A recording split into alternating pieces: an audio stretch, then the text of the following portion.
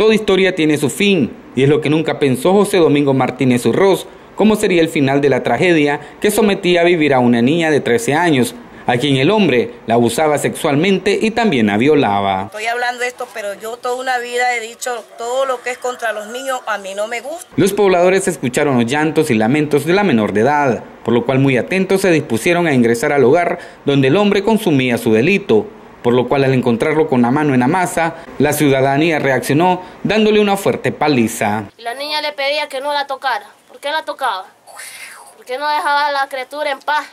Todo aquel que no comprende eso es porque no tiene hijos, pero negra, todo el que es madre sabe ese dolor y lo que se duele que jodan a su hijo. El sujeto mantenía bajo amenazas a la niña de 13 años, asegurándole que si ésta denunciaba, él actuaría en contra de los familiares, por lo que en reiteradas ocasiones la víctima intentó acabar con su vida y la niña callaba, la tenía amenazada.